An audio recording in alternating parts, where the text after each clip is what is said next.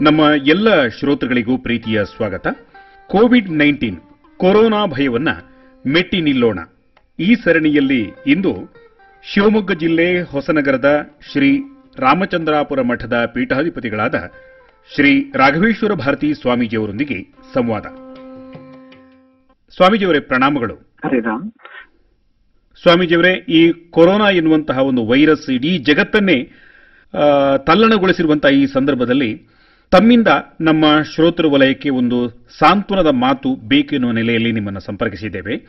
ಇವತ್ತು ಕೊರೋನಾ ವೈರಸ್ನಿಂದ ಭೀತರಾದಂತಹ ಸಮಾಜದ ಜನರಿಗೆ ತಮ್ಮ ಸಂದೇಶ ಏನು ಸ್ವಾಮೀಜಿಯವರೇ? ಭೀತಿ ಪಡಬೇಕಿಲ್ಲ. ಯಾಕೆಂದ್ರೆ ಭೀತಿಯಿಂದ ಏನು ಪ್ರಯೋಜನ ಇಲ್ಲ. ಭೀತಿಯಿಂದ ಸಮಸ್ಯೆ ಉಲ್ಬಣವಾಗಬಹುದು ಹೊರತು ಹೌದು. ಸಮಸ್ಯೆ ಪರಿಹಾರಕ್ಕೆ ಏನು ಕಾರಣ ಆಗೋದಿಲ್ಲ ಅದು. ರಾತ್ರಿ ಮನೆಗೆ ಕಳ್ಳ ನುಗ್ಗಿದ್ರೆ ಆಗ ನಮಗೆ ಭೀತಿ ಆಗದೆ ಇದ್ರೆ ನಾವು ಧೈರ್ಯವಾಗಿದ್ರೆ ನಾವು ಅದನ್ನ ಜಾಣ್ಮೆಯಿಂದ ಎದುರಿಸಬಹುದು ಅದೇ ನಾವು ಭಯಗೊಂಡು ಕೈಕಲ್ಲಿ ಬಿಟ್ರೆ ಆಗ ನಮಗೆ ನಮ್ಮ ಪರ್ಫಾರ್ಮೆನ್ಸ್ ಇನ್ನೂ ಹಾಳಾಗ್ಬೋದು ಅಂತ. ಒಂದನೇದಾಗಿ ಇದು ಜೀವನಕ್ಕೆ ಅನ್ವಯ ಆಗುವಂತ ವಿಷಯ ಅದು. ಆತಂಕ ಭೀತಿಗಳು ಯಾವ ಸಮಸ್ಯೆಯನ್ನು ಪರಿಹಾರ ಮಾಡೋದಿಲ್ಲ ಸಮಸ್ಯೆಯನ್ನು ಉಲ್ಬಣೆ ಮಾಡ್ತೇವೆ ಅನ್ನೋದೊಂದು. ಇನ್ನೊಂದು ಅಷ್ಟೆಲ್ಲ ಭೀತಿ ಪಡ್ಬೇಕಾಗಿಲ್ಲ ಅಂತ. ಭಾರತೀಯರಂತೂ ಆ ಪ್ರಮಾಣದ ಭೀತಿ ಪಡ್ಬೇಕಾಗಿಲ್ಲ. ಯಾಕೆಂದ್ರೆ ಆ, ಪ್ರಮಾಣದ ಆ, ಈಗ ನಮ್ಮ ದೇಶ ಜನಸಂಖ್ಯೆ ಹೋಲಿಸಿದ್ರೆ ನಮ್ಮ ದೇಶದಲ್ಲಿ ಏನು ಬಂದಿದೆ ಕೊರೋನಾ ಅದು ದೊಡ್ಡ ಸಂಗತಿ ಅಲ್ಲ ಅದು. ಆ, ಮಾತ್ರ ಅಲ್ಲ ಈಗ ಡೆತ್ ರೇಟ್ ಗಮನಿಸಿದರೆ ಬಂದವರು ಸತ್ತವರಷ್ಟು ಅಂತ ಗಮನಿಸಿದಾಗ ಆಗಲೂ ಕೂಡ ತುಂಬಾ ಸಮಾಧಾನ ಕೊಡುವಂತ ಸಂಗತಿಗಳು ಇದ್ದಾವೆ. ಗೆದ್ದು ಬಂದವರು ಬಹಳ ಸತ್ತು ಹೋದವರು ಬಹಳ ಕಡಿಮೆ. ಹಾಗೆ ಸಾವು ನಾವು ಇದಕ್ಕಿಂತ ಹೆಚ್ಚು ಬೇರೆ ಬೇರೆ ಸಂಗತಿಗಳನ್ನು ಸಂಭವಿಸ್ತಕ್ಕ ಸಂಭವಿಸ್ತವೆ ಮತ್ತು ಮೂರನೇದಾಗಿ ಇದು ಹೇಳದೆ ಬರೋ ಕಾಯಿಲೆ ಅಲ್ಲ. ಹೇಳಿ ಬರೋ ಕಾಯಿಲೆ ಆಗಿದ್ರಿಂದ ಅದಕ್ಕೆ ಬೇಕಾದ ಎಚ್ಚರಿಕೆ ನಾವು ತಗೊಂಡ್ರೆ ಆಗ ನಾವು ಅದರಿಂದ ಪಾರಾಗ್ಲಿಕ್ಕೆ ಸಾಧ್ಯ ಇದೆ ಅಂತ. ಹಾಗಾಗಿ ಪರಿಹಾರ ಎಲ್ಲಿದೆ ಅಂದ್ರೆ ಬೇಕಾದ ಎಚ್ಚರಿಕೆಯನ್ನು ತೆಗೆದುಕೊಂಡು ಆ, ಸರ್ಕಾರ ಸೂಚಿಸಿದ ಅಥವಾ ವೈದ್ಯಕೀಯ ಪರಿಣತರು ಸೂಚಿಸಿರ್ತಕ್ಕಂಥ ಪರಿಹಾರ ಉಪಾಯಗಳನ್ನ ಮುಖ್ಯವಾಗಿ ಅದರಲ್ಲೂ ಕೂಡ prevention is better than cure ಬಾರದಂತೆ ನಾವು ಯಾವ ಶಿಸ್ತಿನಲ್ಲಿ ಇರಬೇಕು ಆ ಶಿಸ್ತಿನಲ್ಲಿ ಇದ್ರೆ ಅದು ಪರಿಹಾರ. ಹಾಗಾಗಿ ಆ ಕಡೆಗೆ ನಾವು ಮುಖ ಮಾಡಬೇಕು.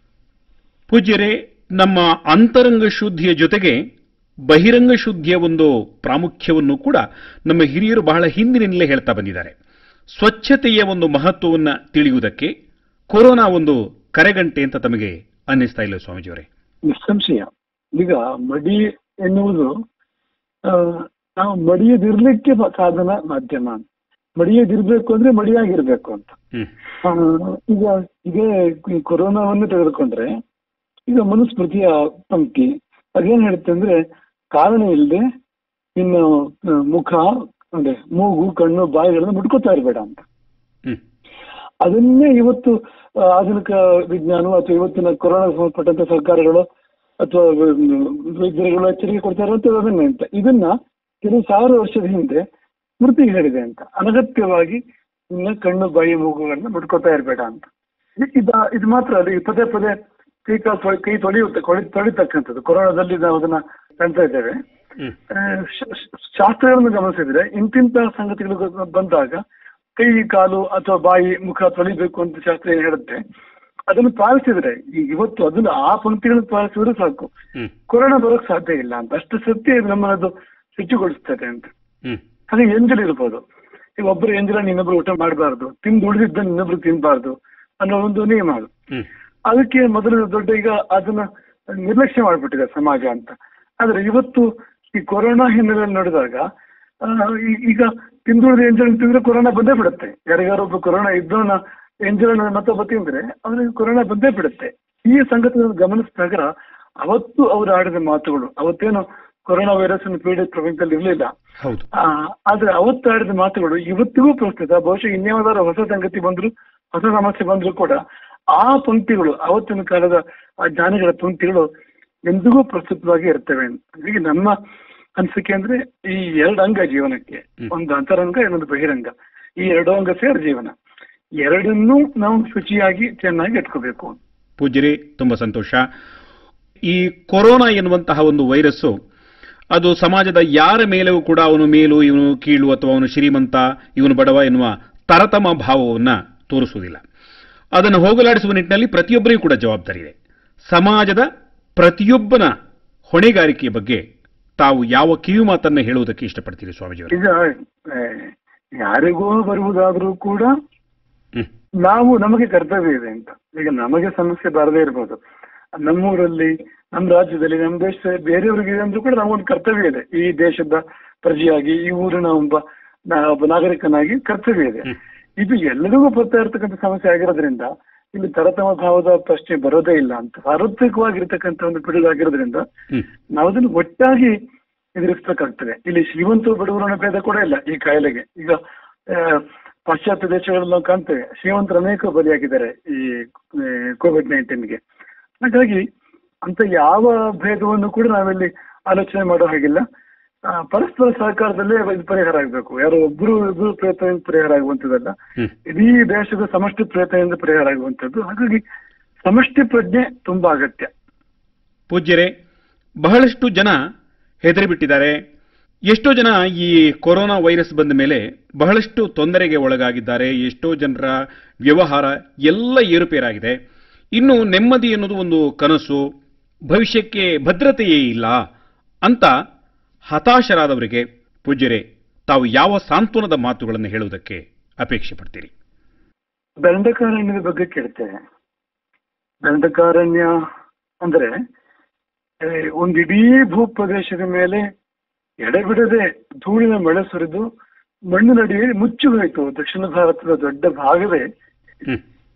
ಹ್ಮ್ ಧೂಳಿನಡಿಯಲ್ಲಿ ಮಣ್ಣಿನಡಿಯಲ್ಲಿ ಮುಚ್ಚಿ ಹೋಯಿತು. ದಂಡಕ ಎಂಬ ರಾಜನ ಅಪರಾಧದ ಕಾರಣದಿಂದಲಾಗಿ ಅದರ ಪರಿಣಾಮವಾಗಿ ಪುರಾಣಗಳಲ್ಲಿ ಕೇಳ್ತೇವೆ. ರಾಮಾಯಣದಲ್ಲಿಯೇ ಇದರ ಪ್ರಸ್ತಾಪವನ್ನು ಕಾಣ್ತೇವೆ ನಾವು. ಮಹಾಭಾರತದಲ್ಲೂ ಕೂಡ ಕಾಣ್ತೇವೆ. ಆ, ಆ ರಾಜನ ಅಪರಾಧದ ಪರಿಣಾಮವಾಗಿ ಆ ಇಡೀ ಪ್ರದೇಶದ ಮೇಲೆ ಈ ನಮ್ಮ ದಕ್ಷಿಣ ಭಾರತದ ದೊಡ್ಡ ಭಾಗವೇ ಇದು ದಂಡಕಾರಣ್ಯ ಅಂತಂದ್ರೆ. ಇದರ ಮೇಲೆ ನಿರಂತರ ಧೂಳಿನ ಮಳೆ ಸುರಿದು ಇಲ್ಲಿ ಮನುಷ್ಯರು ಮೃಗ ಪಕ್ಷಿಗಳು ಮರ ಗಿಡಗಳು ಎಲ್ಲವೂ ಮಣ್ಣಿನಲ್ಲಿ ಮುಚ್ಚಿ ಹೋದವು. ಹೂತು ಹೋದವು ಅಂತ ಕೇಳ್ತೇವೆ ನಾವು. ಆದ್ರೆ ಪುನಃ ನಡಲಾಡಿಸ್ತಾ ಇಲ್ವಾ? ಆ ಇಡೀ ಭೂಪ್ರದೇಶದಲ್ಲಿ ಜೀವ ಸಂಚಾರ ಜೀವದ ಮಿಡಿತಾ ಇಲ್ವಾ ಇವತ್ತು? ಇದ್ದೇ ಇದೆ ಅಂತ. ಹಾಗಾಗಿ ನಾವು ಯಾವುದೋ ಒಂದು ಕಷ್ಟ ಬಂತು ಅನ್ನೋ ಕಾರಣಕ್ಕೆ ಇಷ್ಟು ದೊಡ್ಡ ಕಷ್ಟ ಆದ್ರೂ ಕೂಡ ಆತಂಕಿತರಾಗಬೇಕಾದಂತ ಸಂದರ್ಭ ಇಲ್ಲ. ಪುರಾಣ ಇತಿಹಾಸಗಳು ಅಂತ ಒಳ್ಳೆ ಉದಾಹರಣೆಗಳನ್ನು ಆ, ನೀಡ್ತವೆ. ಹೌದು. ಕಗ್ಗದ ಕವಿ ಪಂಕ್ತಿ ಗಡುವಿರುವುದೆಲ್ಲಕ್ಕೂ ಮಂಕುತಿಮ್ಮ ಎಲ್ಲಕ್ಕೂ ಗಡುವಿದೆ ಅಂತ. ಕೊರೋನಾಕ್ಕೂ ಕೂಡ ಒಂದು ಗಡುವಿದೆ ಕೋವಿಡ್ ನೈನ್ಟೀನ್ ಕೂಡ ಒಂದು ಗಡುವಿದೆ ಅಂತ ಗಡುವಿರುವುದೆಲ್ಲಕ್ಕೂ ಮಂಕುತಿಮ್ಮ ಎಂಬ ಮಾತನ್ನು ಅವ್ರು ಹೇಳ್ತಾರೆ. ಅಂದ್ರೆ ಅವರು ಅವರಂತೂ ಎಷ್ಟು ಮುಂದುವರೆದು ಹೇಳ್ತಾರೆ ಅಂದ್ರೆ ಈ ಭೂಮಿಯ ಧೂಳಾಗಿ ಮೇಲೆ ಮೇಲೆಳಿಬೇಕಾದ್ರೆ ಚಿಂತೆ ಮಾಡಬೇಡ. ಕಡಲ್ಗಳು ಒಂದಾದೊಡನ್ ಪೊಡವಿ ಹಬೆಯಾದೊಡನ್ ಬಿಡದಿರುವಳ ನೆಮ್ಮದಿಯ ಬಿಡು ಗಾಬರಿಕೆಯ. ಪೊಡವಿ ಧೂಳು ಇಳಿಯುವುದು ಕಡಲ ಮೇಲೆ ತಗ್ಗುವುದು ಗಡುವಿರುವುದೆಲ್ಲ ಮಂಕುತಿಮ್ಮ ಕಡಲ್ಗಳು ಒಂದಾದೊಡಂ ಸಮುದ್ರಗಳೆಲ್ಲ ಒಂದಾಗಿ ಸುನಾಮಿಯಾಗಿ ನಮ್ಮ ಮೇಲೆ ಬಂದ್ರು ಕೂಡ ಭೂಮಿಯೇ ಹಬೆಯಾಗಿ ಮೇಲಿದ್ರು ಕೂಡ ಬಿಡದಿರು ಒಳ ನೆಮ್ಮದಿಯ ಒಳ ನೆಮ್ಮದಿಯನ್ನು ಕಳ್ಕೊಳ್ಬೇಡ. ಬಿಡು ಗಾಬರಿಕೆಯ ಗಾಬರಿಯನ್ನು ಬಿಡು. ಯಾಕೆಂದ್ರೆ ಒಂದಲ್ಲ ಒಂದು ದಿನ ಪಡೆವಿ ಧೂಳು ಇಳಿಯುವುದು ಕಡಲ ನೆರೆ ತಗ್ಗುವುದು. ಆ ಒಳ್ಳೆ ದಿನಕ್ಕೋಸ್ಕರ ಕಾಯ್ಬೇಕು ಹೊರತು ನಾವು ಕಂಗಾಲಾಗಬಾರ್ದು ಎನ್ನುವ ಸಂದೇಶ ಅವರದಿದೆ. ಮಂಕುತಿಮ್ಮನ ಕಗ್ಗದ ಕವಿಗಳದ್ದಿದೆ ಹಾಗೆ ನಾವು ಅನೇಕ ಉದಾಹರಣೆಗಳು ಕಾಣ್ತೇವೆ. ರಾಮನ ಒಂದು ಸವಾಲು ಲಂಕೆಯನ್ನು ಗೆಲ್ಬೇಕು ಮುಂದೆ ಸಮುದ್ರ ಇದೆ. ರಾಮ ಪದಾತಿ ರಥ ಕೂಡ ಇಲ್ಲ. ಜೊತೆಗಿರೋರು ಕಾಡು ಕಪಿಗಳು. ಇಂಥದ್ರಲ್ಲಿ ಸಕಲ ನವಧಿ ರಾಕ್ಷಸ ಕುಲವನ್ನು ಮಾತನಾಡ್ತಾರೆ. ಇಡೀ ರಾಕ್ಷಸ ಕುಲವನ್ನೇ ಸಂಹಾರ ಮಾಡಿ ರಾವಣನನ್ನು ಗೆದ್ದು ರಾಮ ಸೀತೆಯನ್ನು ಮರಳಿ ಕರ್ಕೊಂಡು ಬರ್ತಾನಲ್ಲ ಅವನ ಮುಂದೆ ಸವಾಲು ಎಷ್ಟು ದೊಡ್ಡದು ಇಂಥ ಸವಾಲೇ ನಮ್ಮ ಇಲ್ಲ. ಇದು ಬಂದು ಹೋಗುವಂಥದ್ದು ಮೋಡದ ಹಾಗೆ ಬಂದು ಹೋಗುವಂಥದ್ದು. ಹಾಗಾಗಿ ನಾವು ಗಾಬರಿಯನ್ನು ಬಿಟ್ಟು ಒಳ ನೆಮ್ಮದಿಯನ್ನು ಬಿಡದೆ ಗಾಬರಿಯನ್ನು ಬಿಡಬೇಕು ಒಳ ನೆಮ್ಮದಿಯನ್ನು ಬಿಡಬಾರ್ದು ಕಳ್ಕೊಳ್ಬಾರ್ದು. ಆ ರೀತಿಯಲ್ಲಿ ನಾವು ಈ ಸಮಸ್ಯೆಯನ್ನ ಎದುರಿಸಿದ್ರೆ. ಈ ಸಮಸ್ಯೆಯನ್ನ ಅಂತಲ್ಲ ಯಾವ ಸಮಸ್ಯೆಯನ್ನು ಕೂಡ ಹಾಗೆ ಎದುರಿಸಿದ್ರೆ ಸಮಸ್ಯೆಗಳು ಮಂಜು ಮಂಜಿನಂತೆ ಕರಗಿ ಹೋಗ್ತವೆ. ಕೋವಿಡ್ ನೈನ್ಟೀನ್ ಕೂಡ ಕೆಲವೇ ದಿನಗಳ ಕೆಲವೇ ಸಮಯದ ಪ್ರತೀಕ್ಷೆ ಇದೆ. ಇದು ಕೂಡ ಮಂಜಿನಂತೆ ಕರಗಿ ಹೋಗಿ ದೇಶ ವಿಶ್ವ ಮತ್ತೆ ಮೊದಲಿನಂತೆ ಆಗ್ತದೆ. ಪೂಜ್ಯ ಸ್ವಾಮೀಜಿಯವರೇ ನಿಮ್ಮ ಮಾತು ನಮ್ಮ ಎಲ್ಲ ಶ್ರೋತೃಗಳಿಗೂ ಕೂಡ ಬಹಳ ದೊಡ್ಡ ಸಮಾಧಾನವನ್ನ ಧೈರ್ಯವನ್ನ ತಂದುಕೊಟ್ಟಿದೆ ಅಂತ ನಾವು ಭಾವಿಸಿದ್ದೇವೆ. ಬಹಳ ಪ್ರೀತಿಯಿಂದ ಸಾಂತ್ವನದ ಮಾತುಗಳನ್ನು ನಮ್ಮ ಶ್ರೋತೃಗಳಿಗೆ ಹೇಳಿದಂತಹ ತಮಗೆ ಅನಂತ ಪ್ರಣಾಮಗಳು ಸ್ವಾಮೀಜಿಯವರೇ. ಎಲ್ಲರಿಗೂ ಪೂರ್ಣ ಸ್ವಾಸ್ಥ್ಯವನ್ನು ಪೂರ್ಣ ನೆಮ್ಮದಿಯನ್ನು ನಾವು ಕೂಡ ಹಾರೈಸುತ್ತೇವೆ ಶಿರಸಾ ವಂದನೆಗಳು ಪೂಜ್ಯರೇ. ನಮಸ್ಕಾರ. ಹರೇ ರಾಮ.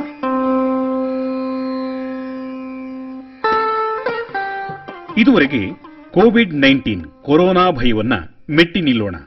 ಈ ಸರಣಿಯಲ್ಲಿ ಶಿವಮೊಗ್ಗ ಜಿಲ್ಲೆ ಹೊಸನಗರ ಶ್ರೀ ರಾಮಚಂದ್ರಾಪುರ ಮಠದ ಪೀಠಾಧಿಪತಿಗಳಾದ ಶ್ರೀ ರಾಘವೇಶ್ವರ ಭಾರತಿ ಸ್ವಾಮೀಜಿಯವರೊಂದಿಗೆ ಸಂವಾದ ಕೇಳಿದಿರಿ.